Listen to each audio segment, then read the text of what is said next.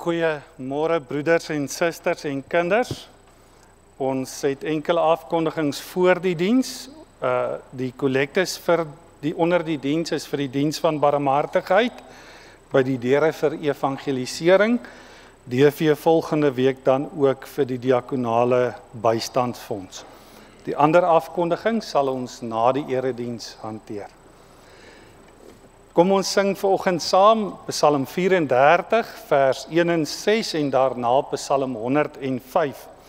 In weelde en in ongeluk altyd sal ek die Here prys. Altyd voor hom my lof laat reis in voorspoed en in druk. Psalm 34 en daarna Psalm 105.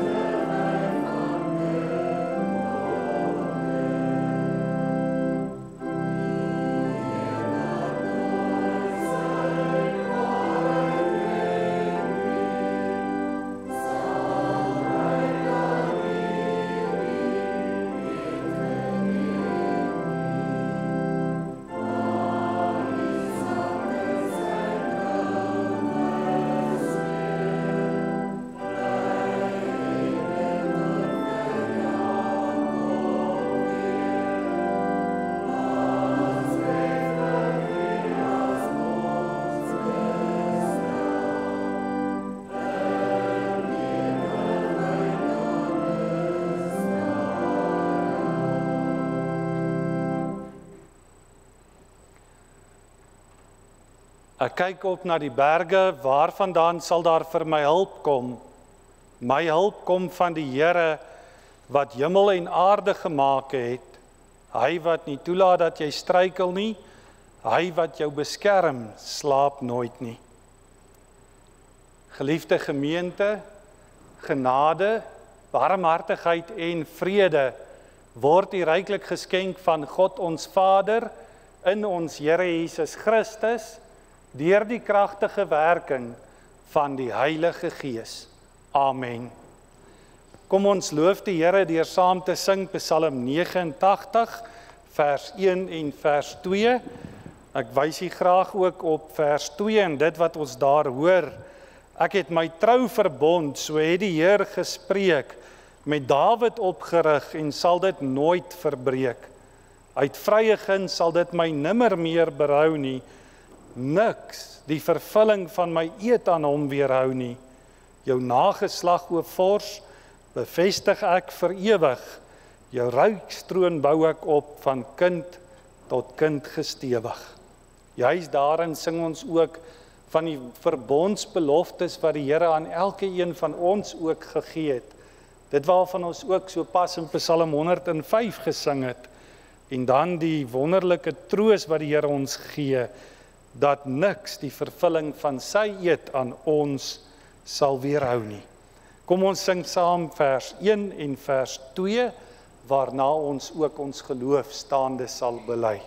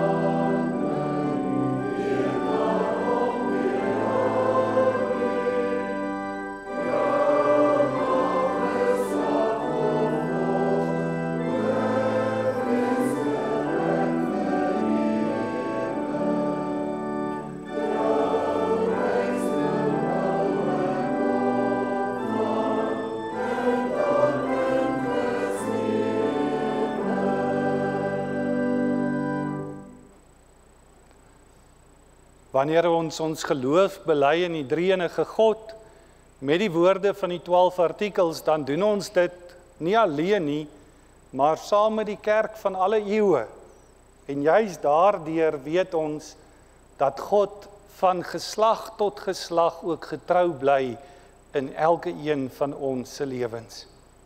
Ek glo in God die Vader, die Almagtige, die skepper van hemel en aarde en in Jesus Christus sy eniggebore seun ons Here wat ontvang is van die Heilige Gees gebore is uit die maagd Maria wat gelei het onder Pontius Pilatus gekruis ge, ge, gekruisig is gesterwe het en begrawe is en wat al die angste van die hel tot in die dood toe ondergaan het maar wat op die 3de dag opgestaan het uit die dood opgevaar het na die hemel en sit aan die regterhand van God die almagtige Vader waarvandaan hy sal kom om die lewendes en die dooies te oordeel.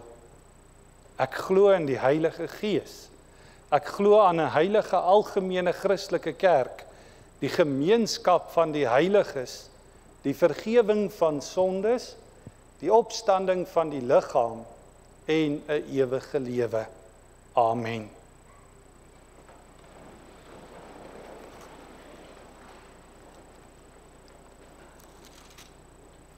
In Psalm 65 staan daar in vers 2 dis waar 'n donker skuldverlede leef in ons jeugenis. Maar al ons ongeregtighede word deur U uitgewis. Welsalig wie in skuld verlore versoeningswoord oorreis vir wie u uitkies lank tevore 'n woonplek in u huis. Daarin sing ons broers en susters van die genade van ons hemelse Vader wat nie net ons elkeen uitgekies het om sy kinders te wees om vanoggend hier ook in 'n erediens bymekaar te wees nie maar wat ook in en deur ons Here Jesus Christus ook ons skuldverlede ons ongeregtighede uitgewis het. Elkeen van ons wat in skuld verlore is, hoor vanoggend ook die versoeningswoord dat God ook vir jou en my in sy genade verlos het. En juist daarom luister ons na die wet van die Here en ons luister daarna juis ook om te leer hoe dat God wil hê ons moet lewe in dankbaarheid vir dit wat hy in sy genade onverdiend aan elke een van ons geskenk het. Daar staan geskryf Eksodus 20 toe het God al hierdie gebooie aangekondig. Ek is die Here jou God wat jou uit Egipte uit die plek van slawerny bevry het. Jy mag naas my geen ander gode hê nie. Jy mag nie vir jou 'n beeld of enige afbeelding maak van wat in die hemel daarbo of op die aarde hieronder of in die water onder die aarde is nie. Jy mag hulle nie vereer of dien nie, want ek die Here jou God eis onverdeelde trou aan my. Ek reken kinders die sondes van hulle vaders toe selfs tot in die 3de en die 4de geslag van die wat my haat. Maar ek betoon my liefde tot aan die duisendste geslag van die wat my liefhet en my gebooie gehoorsaam. Jy mag die naam van die Here jou God nie misbruik nie, want die Here sal die een wat sy naam misbruik nie ongestraf laat bly nie. Sorg dat jy die Sabbatdag heilig hou. 6 dae moet jy werk en alles doen wat jy moet, maar die sewende dag is die Sabbat van die Here jou God. Dan mag jy geen werk doen nie, nie jy of jou seun of jou dogter of die man of vrou wat vir jou werk of enige dier van jou of die vreemdeling by jou nie. Die Here het in 6 dae die hemel en alles daarin gemaak, die aarde en alles daarop, die see en alles daarin. Op die sewende dag het hy gerus en daarom het die Here dit as 'n gereelde rusdag geheilig. Eer jou vader en jou moeder, dan sal jy lank bly woon in die land wat die Here jou God vir jou gee. Jy mag nie moord pleeg nie, jy mag nie egbreek pleeg nie, jy mag nie steel nie. Jy mag nie vals getuienis teen 'n ander gee nie. Jy mag nie iemand anders se huis begeer nie.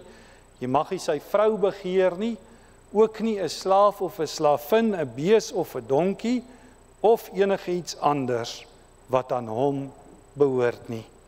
Tot sover die wet van die Here. Kom ons sing nou saam Psalm 65, die eerste en die tweede vers terwyl ons so bly sit.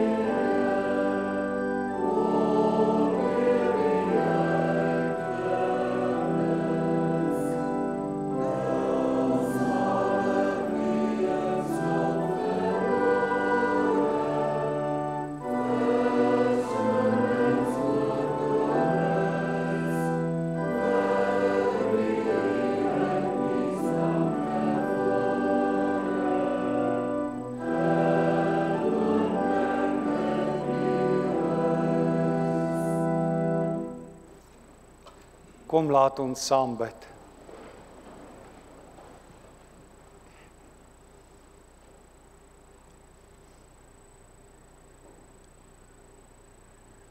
Ons Vader in die hemel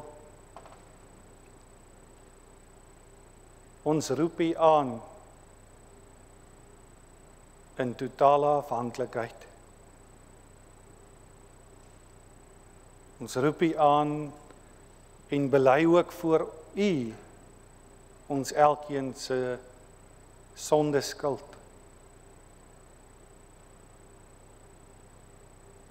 En juist daarom dank ons U ook en loof en prys ons U heilige naam omdat U vir ons ook 'n verlosser gestuur het. Ons Here Jesus Christus. Hy wat eendag op die wolke gaan kom om as regter ook te oordeel. Jy's ook die oordeel wat U al reeds uitgespreek het te kom voltrek. Ook die oordeel oor die sonde.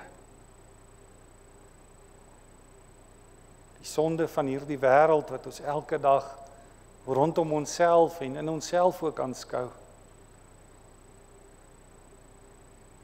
En juist daarom dank ons U vir die wonder van U genade dat U ook ons lank lank voor die grondlegging van die wêreld al gekies het om U kinders te wees. En deur ons Here Jesus Christus en die Heilige Gees ook heilig om u kinders te wees. Daarom bid ons ook dat u elke een van ons deur die werking van u Gees en deur die verkondiging van u woord ook nie alleen sal vertroos met die evangelie nie, maar ons elkeen ook daadwerklik sal oproep tot bekering tot 'n nuwe gehoorsaamheid aan u 'n nuwe vreugde in u wette wat u vir ons gee. Ons vra dit nie net vir onsself nie, maar ons gebed is dat u koninkryk oor die hele wêreld in al sy heerlikheid sal skyn en sal uitbrei.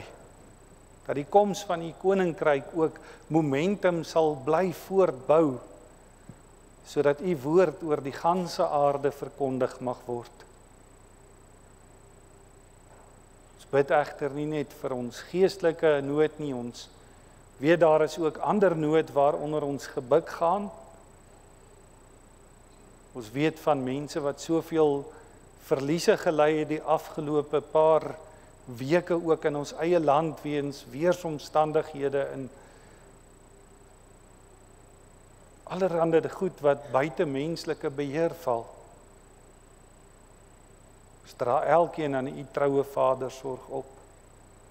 In ons eie gemeente weet ons van soveel van ons broers en susters wat ernstig siek is en ook lankal siek is. Ons weet van hulle wat weens hulle ouderdom so verswak het dat hulle nie meer saam met ons hier by mekaar kan kom nie.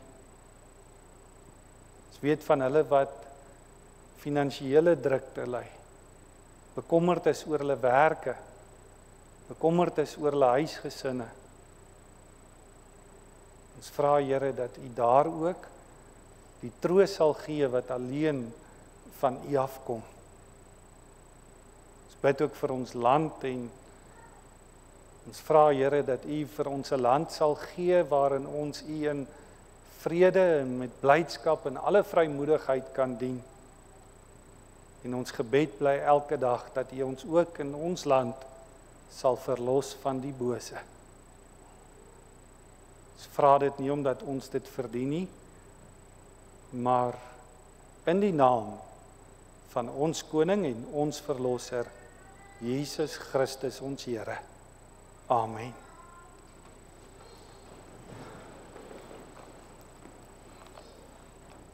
Psalm 50 vers 15 sê roep my aan in die dag van benoudheid ek sal jou uithelp en jy sal my eer kom ons luister saam na hierdie Psalm van Asaf en dan gaan ons fokus op vers 15 ook in die prediking. 'n Psalm van Asaf. Die Here is God. Hy alleen is God. Hy spreek, hy roep die hele wêreld op van waar die son opkom tot waar hy ondergaan. Uit Sion, stad van volmaakte pragt, verskyn God in glans. Ons God kom, hy bly nie stil nie. Voor hom uitbrand 'n vuur, rondom hom woed 'n storm. Hy roep die hemel en die aarde op vir die saak teen sy volk. Maak bymekaar die wat aan my getrou is en met 'n offer 'n verbond met my gesluit het. Die hemel getuig, God is regverdig en hy is die regter. Luister my volk, ek wil my saak stel, ek wil teen jou getuig Israel, ek is God, ek is jou God. Dit is nie omdat jy nie offer dat ek rekenskap van jou eis nie. Jou brandoffers is immers gedurig voor my. Ek wil geen jong bul uit jou stal hê of bokke uit jou krale nie, want al die diere in die bos is myne, die wild op die duisende berge. Ek ken al die voëls van die berge, al wat roer op die veld is myne. Ek sou jou nie vra as ek honger sou kry nie want die aarde en alles wat daarop is behoort aan my. Eet ek miskien die vleis van die bulle wat julle offer of drink ek die bloed van bokke? Nee, lof is die offer wat jy aan God moet bring. Betaal jou geloftes aan die Allerhoogste. Roep my aan in die dag van benoudheid. Ek sal jou uithelp en jy sal my eer. Maar vir die goddelose sê God, Waarom sê jy my voorskrifte een vir een op en beroep jy jou op my verbond, jy wat 'n afkeer het van wat ek jou leer en jou nie steur aan wat ek sê nie? As jy 'n dief raakloop, breek jy saam met hom in en as jy die kans kry, pleeg jy egbreek. As jy jou mond oopmaak, praat jy kwaad. Jou tong reig bedrog aan mekaar. Jy sit en praat teen jou broer jou eie broer beswadder jy. Moet ek stil bly as jy sulke dinge doen? Dan sal jy dink ek het soos jy geword. Nee, ek eis rekenskap van jou. Ek kla jou aan. Julle moet luister na hierdie waarskuwing. Julle wat nie met God rekening hou nie, anders verskeer ek julle sonder dat iemand kan red. Die mens wat my eer is die een wat lof as 'n offer bring. Hy wat reg lewe, vir hom sal ek red. Tot sover ons teksgedeelte vir vandag. Ons sing saam ook die beruiming van Psalm 50 vers 15 en vers vers 14 en roep in tyd van nood my aan ek sal jou uithelp sê die Heer en dankbaar bly sal jy my eer. Ons sing saam Psalm 50 net vers 7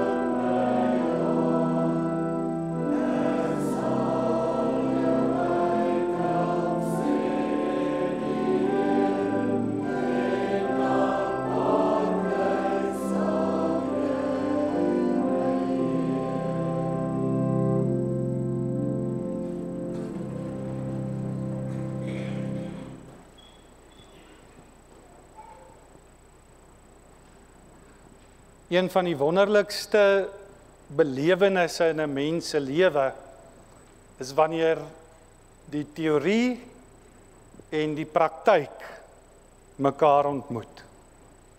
Wanneer kennis wat jy opgedoen het, jy prakties in jou eie lewe kan gaan toepas. Dink ons kinders kan vir ons eintlik die teenoorgestelde vertel wat tog op skool is. Veral ons jonger kinders en ons hoërskoolkinders want hulle weet ook hoe dit voel as jy 'n klomp kennis in jou kop moet probeer indruk en jy weet nie hoekom jy dit doen nie. As jy hierdie klomp goed moet lees en is eintlik vir jou half nuttelose inligting waarin jy eintlik glad nie eers belangstel nie. Jy sien nie die sin daarvan in hoekom almal jou so druk om hierdie klomp skoolwerk, hierdie klomp kennis jou eie te maak en te leer nie. Dit lyk vir jou eintlik sinneloos. Wel broers en susters, vir baie mense het ons geloof ook dieselfde geword as vir daardie kinders in die skoolbanke. Mense hoor dit eintlik vandag by baie mense wat vir jou sal sê, maar hoekom? Hoekom moet my kind die Bybel uit sy kop uit ook leer ken party dele. Hoekom moet ons die 12 artikels kan opsê die hoërskoolkinders wat katekisasie doen en wat ook in die katekisasie sit? Hoekom moet ons Sondag 1 van die Heidelbergse katekismes vir die dominee uit sy uit ons koppe uit kan opsê? Hoekom wil hy dit so graag hê? Miskien 'n bietjie weier gevat is, hoekom gaan ons kerk toe? Hoekom is ons vanoggend hier? Baie mense sal sê daar's eintlik nie meer nut daaraan om Sondag vir Sondag na dieselfde dominee te gaan luister nie. Nee, dis baie lekkerder om om 'n klomp ander ook na te gaan luister en nie hier te wees nie. Miskien baie nader aan onsself. Waarom is dit vir baie van ons so kosbaar, so belangrik om ook 'n tweede keer op 'n Sondag vanaand dan 'n katekismuspreek te kom luister? Watter sin is daar om hierdie moeite te doen wat ons vanoggend ook gedoen het om hier te wees? Daar's iets belangriks in hierdie dinge broers en susters. Dis ongelukkig so net soos die skoolkind nie altyd verstaan waarom of hy of sy 'n sekere gedeelte inligting moet hê nie en dit sinneloos vind. Net so is dit vir baie mense se geloofslewe ook. Dink 'n bietjie daaraan, hoeveel preke het jy al gehoor en gewonder hoekom moet ek na hierdie preek luister? Dis eintlik nie op my lewe van toepassing nie. Hoeveel keer moet ons nie met katekisasie kinders sit, veral hoërskoolseuns is nogal geneig om so half dikmond te wees oor hulle nou hierdie goed moet leer. Hulle is nie eintlik lus om dit te doen nie. Tot die dag broers en susters, totdat daai wonderlike ding gebeur. En hierdie teorie, hierdie kennis wat jy opgedoen het, praktyk word in jou lewe. Hierdie skynbaar nuttelose inligting 'n praktiese toepassing in jou lewe ook vind. Vanoggend broers en susters gaan ons kyk na hoe ons ook hierdie wonderlike ervaring kan beleef en 'n werklikheid in ons lewe moet maak. En hoor mooi, ek sê nie 'n werklikheid in ons lewe kan maak nie, dit is iets wat jy moet doen. Dit moet 'n werklikheid in jou lewe word. Hoe doen jy dit? Wel, dis nou eenmal so dat God net die beste vir sy kinders wil hê, dat God net die beste vir sy volk wil hê. Daarom wil God ook hê dat jou geloofskennis 'n praktiese toepassing in jou lewe gaan vind. Dat jou geloofskennis uitkom en bloei in die manier hoe jy leef. En een van die maniere, die wonderlikste maniere hoe God dit doen, is deur gebed. Gebed as die praktykmaking van ons geloof. Om te bid, broers en susters, is om God se beloftes op jou eie lewe van toepassing te gaan maak. God se woord wat hy vir jou gegee het, 'n werklikheid te maak in jou dag tot dag bestaan. En wanneer dit gebeur, kan dit nie anders wees as 'n wonderlike belewenis nie. Daarom broers en susters, het God ons beveel om te bid.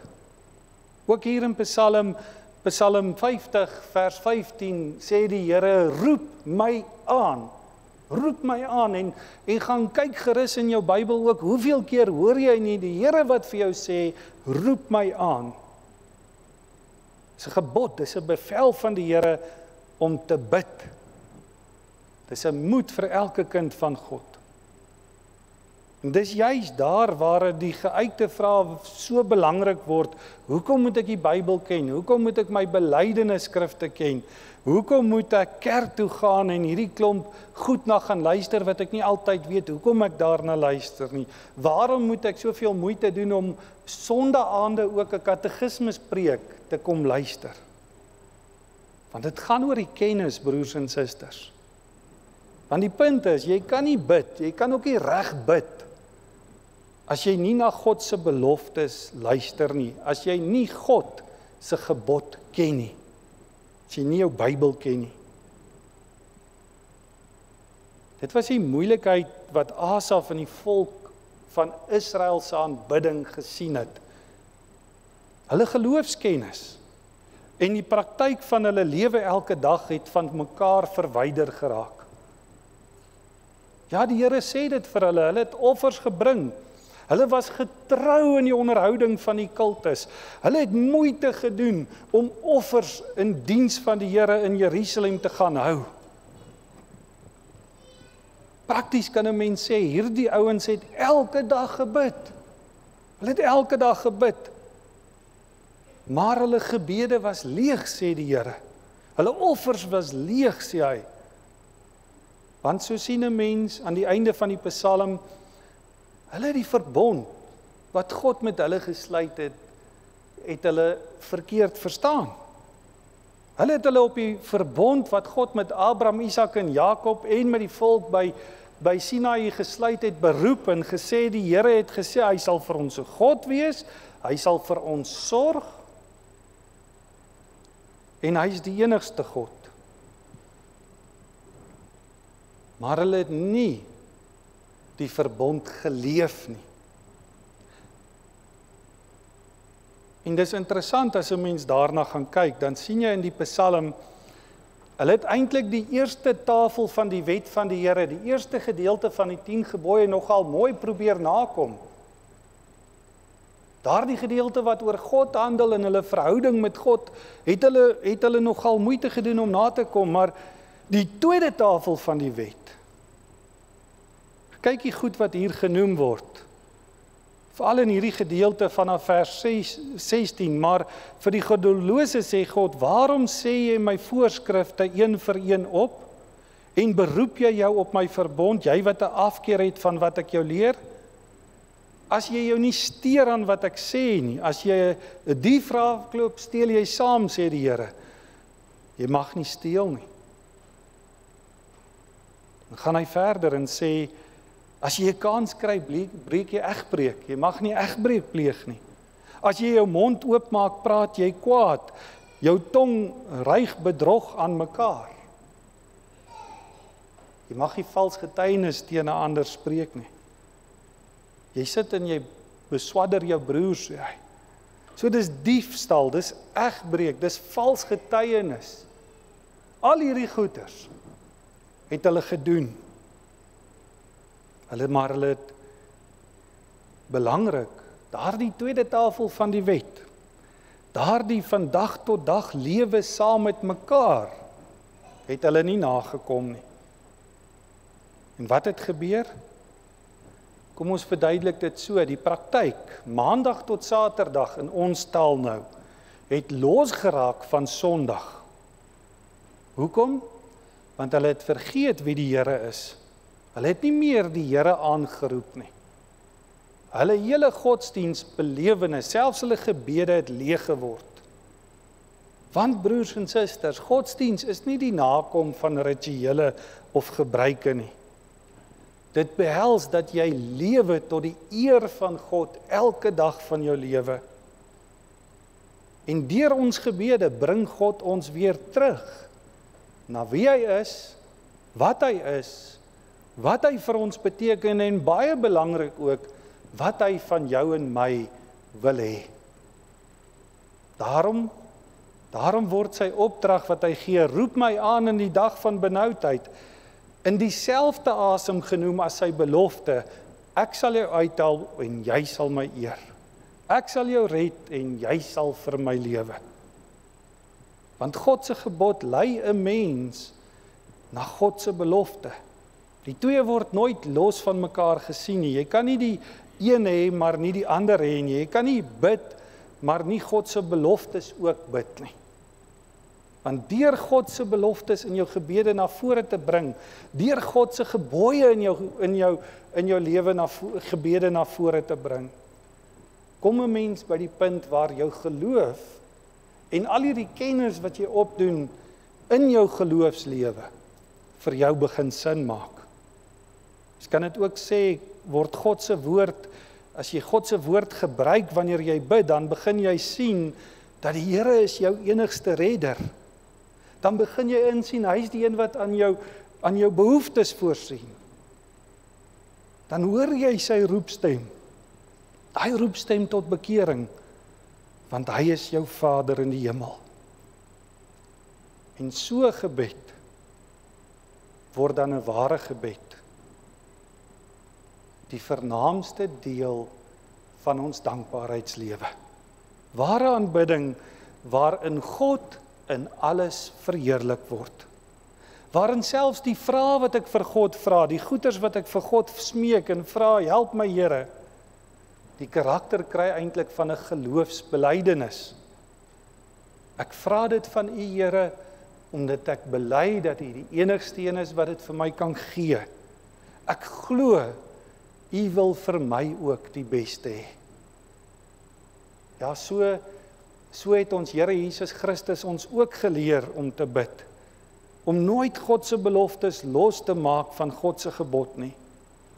Waar het hy dit gedoen? Die dag toe hy vir sy disippels gesê het: "Wat julle die Vader ook al in my naam bid, sal hy vir julle gee. Wat julle ook al die Vader in my naam bid, sal hy vir julle gee. Bid en julle sal ontvang sodat julle blydskap volkome kan wees." Maar die belangrike is ons bid in die naam van ons Here Jesus Christus. Want in sy naam in hom as persoon het God se beloftes, al God se verbondsbeloftes ook saamgetrek. Het God se beloftes ook vlees geword. Dat ons hemelse Vader sy enige gebore seun nie gespaar nie, maar hom oorgelewer om vir ons sondeskuld te kom betaal. Daarom vra Jesus ook die belangrike vraag wat ek en jy moet antwoord wanneer ons bid. As God dit vir ons gegee het, sy enige gebore seun vir ons gegee het, sal hy ons nie al die ander dinge wat ons nodig het saam met hom skenk nie? Sal hy nie al die ander dinge ook vir ons gee nie? sien broers en susters, God weet presies wat elke een van ons nodig het. God weet wat ons graag wil hê. God weet wat ons behoeftes is na die liggaam en na die gees. Maar deur ons te beveel om tot hom te bid, lei God ons terug na hom toe en leer hy ons om in ons geloofkennis wat ons opgedoen het deur ons lewe van toepassing te maak ook op ons lewe om in ons benoudheid binne in die praktyk die moeilikste dele van ons lewens dit op ons lewens van toepassing te maak. Hoekom? In die woorde van ons Here Jesus Christus sodat ons blydskap volkome kan wees. Volkome in die sin dat ek weet daar's niks wat my meer van God se liefde kan skei nie. Die liefde wat ewig vas in Christus Jesus bly. Ja, sodat ek ook saam met Paulus na die wêreld kan kyk, na my eie lewe kan kyk en sê alles maak vir my sin. Want God God is vir ons. Wie kan dan teen ons wees? Wat 'n wonderlike ervaring is dit dan nie? Maar onthou dit, gebed is die manier hoe God hierdie ervaring in ons lewens bewerk. Want daardeur beweeg ons weg van ons eie nutteloosheid en ons eie sinnelose bestaan en word ons deur God se belofte, sy woord gelei om die sin in alles in ons lewens raak te sien. En daarom broers en susters het ons aan die begin ook gesê en ons sluit daarmee af gebed is die praktykmaking van jou geloof. Dis om God se beloftes te bid en dit op jou eie lewe van toepassing te maak. En om God se woord dan 'n werklikheid in jou dag tot dag bestaan te maak. En nie te wees soos die volk Israel wat gebid het en soos baie mense vandag ook is bid en bid en bid. Maar hulle leef nie dit wat die Here vir hulle sê nie. Amen. Kom ons sit so ons raak 'n oomblik stil voor die Here.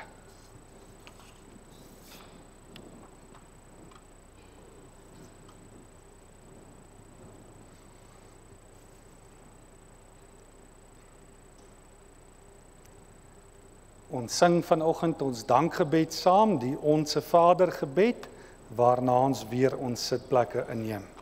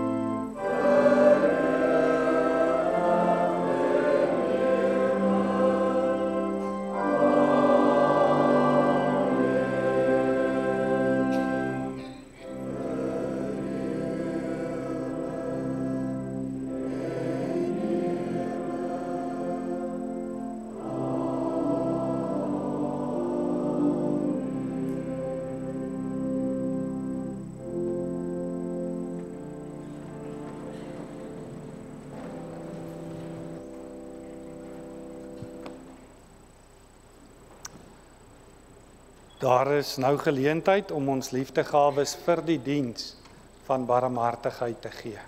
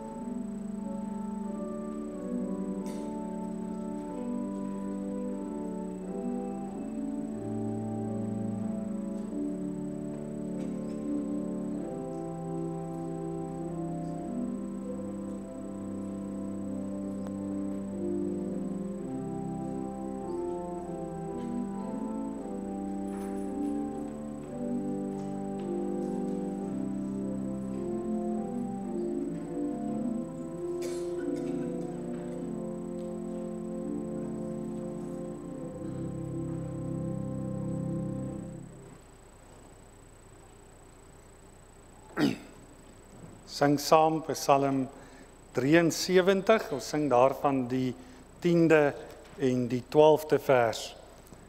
Nogtans sal ek altyd in by U bly. Niks sal my van U liefde skei. U wat my regterhand gevat het vir wie ek van harte liefgehad het. Ons sing saam vers 10 en vers 12 waarna ons ook bly staan om die seën van die Here te ontvang.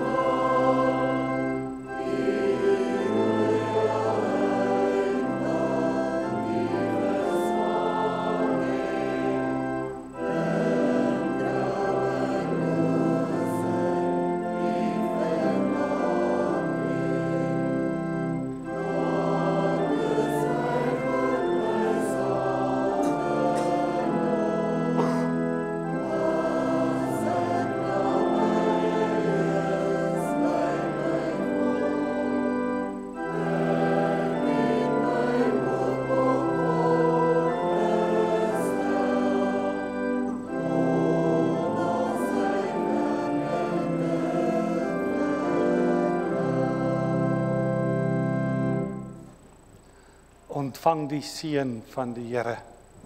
Die genade van ons Here Jesus Christus, die liefde van God en die gemeenskap van die Heilige Gees sal by julle wees. Amen.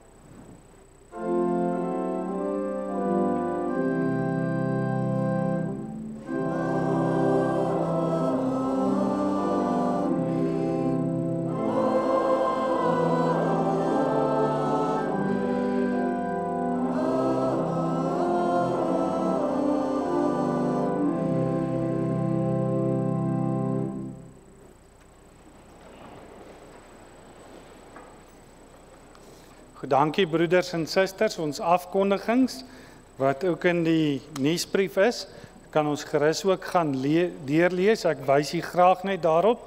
Hierdie is belangrik, die GKSA Almanak, die dagstukkie boeke met al die kerklike inligting kan ons nou bestel. Die koste vir hierdie jaar is R125 per eksemplaar en ons vra dat ons asseblief so gou moontlik dan dit ook by die kerkkantoor sal bestel. Dit dan wat ons afkondigings uit die brief uit nuusbrief betref, u kan die res ook op u eie tyd deurgaan en dan ook met attestaat of met gemeenskap opgesê met die gereformeerde kerk, twee gesinne De Wet, broer Jakobus, uh Jaco De Wet en suster Lismarie De Wet en dooplaatmate en saam met hulle ook broer Kobus De Wet en suster Laurenza De Wet broer Marius de Wet en Maria of uh, Nuni de Wet. En dan ook met gemeenskap opgesê met die kerk hier, Suster Emerentia uh Enslin gebore Pastorius. Dit dan wat ons afkondigings vandag betref, daar's nie katkesasie nie, die kinders het nie skool nie. So hulle gaan hierdie week weer skool toe. Ek dink Ruben is vanoggend hier. Jy's 'n matriek, nê? Nee? Sterkte. Dis jou laaste skool skoolkwartaal. Hy het so 2 weke dan gaan hy nou begin met sy eindeksamens en hy's ons enigste matriekleerling hierdie jaar. So ons kan vir hom ook sterkte sê vir die kwartaal. So daar's nie katkesasie vanoggend nie. So ons kan almal lekker gaan tee drink daar agter. Baie dankie.